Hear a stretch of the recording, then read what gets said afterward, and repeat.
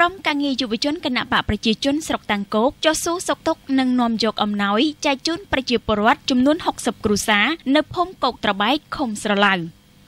ថ្ងៃទី22ខែមេសាឆ្នាំ2020ក្រុមការងារយុវជនគណៈបកប្រជាជនកម្ពុជាស្រុកតាំងគោកដែលដឹកនាំដោយលោកហាក់មង្ហួត និងសហការី បាននាំយកអំណោយមនុស្សធម៌របស់ក្រុមយុវជនគណៈបកប្រជាជនកម្ពុជាស្រុកតាំងគោកចែកជូនដល់ប្រជាពលរដ្ឋខ្វះខាត ជនចាស់ជរាជួបការលំបាកចំនួន60គ្រួសារក្នុងភូមិគោកត្របែកឃុំស្រឡៅ ស្រុកតាំងគោកក្នុងខេត្តកំពង់ធំលោកហាក់មង្ហួតក៏បានពំនាំនៅការផ្ដាំផ្ញើសួរសុខទុក្ខពីសំណាក់សម្ដេចអគ្គមហាសេនាបតីតេជោហ៊ុនសែនដែលលោកតែងតែព្រួយបារម្ភសុខទុក្ខប្រជាពលរដ្ឋយើងជានិច្ចក្នុងឱកាសនោះផងដែរលោកហាក់មង្ហួតបានអំពាវនាវសូមឲ្យប្រជាពលរដ្ឋទាំងអស់ចូលរួមរក្សាអនាម័យខ្លួនឯងជានិច្ចត្រូវលាងដៃនិងសាប៊ូឲ្យបានស្អាតសូមបងប្អូនប្រជាពលរដ្ឋទាំងអស់ចូលរួមបង្ការនិងទប់ស្កាត់ការរីករាលដាលជំងឺ Covid-19 ដោយរស់នៅកុំមានការប្រមូលផ្ដុំគ្នាលោកបានបន្តថាអំណោយទាំងអស់នេះអាចជួយសម្រួលការខ្វះខាតរបស់បងប្អូនបានរយៈពេលខ្លីតែប៉ុណ្ណោះប្រសិនបើមានការខ្វះខាត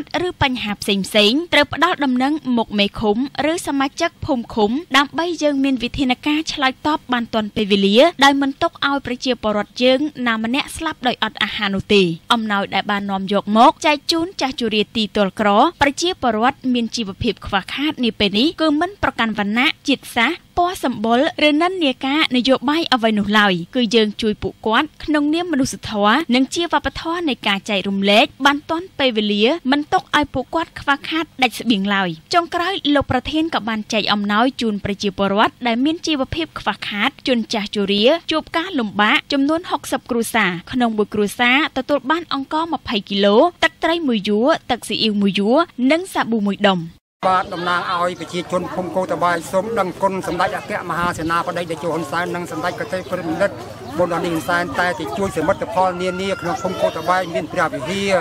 នំទឹកសាលារៀនមន្ទីរពេទ្យស្រះទឹកគ្រប់កន្លែងហើយជានិច្ចការនេះយកអំណោយមកចែកជូនប្រជាពលរដ្ឋគុំខ្ញុំសូមប្រសិទ្ធពរជ័យជូនសម្ដេចតេជោហ៊ុនសែន និងសម្ដេចកតេព្រះបណ្ឌិតជួបប្រកបតែពុទ្ធពរទៅបុត្រប្រការគឺអាយុវណ្ណៈសុខៈពលៈនឹងបីគ្លៀកគ្លៀកឡាយសូមអរគុណអរគុណដល់សម្ដេចតេជោដែលបានជួយ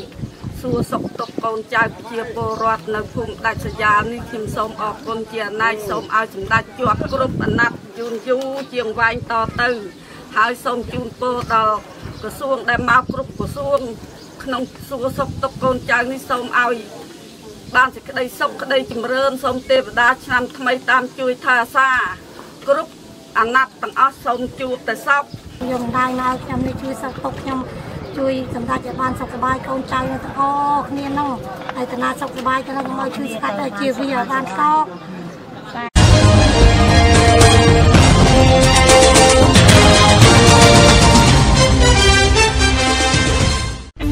ចូលរួមជាមួយរាជរដ្ឋាភិបាលកម្ពុជាក្នុងការបង្កើននិងទប់ស្កាត់ការរីករាលដាលនៃជំងឺ Covid-19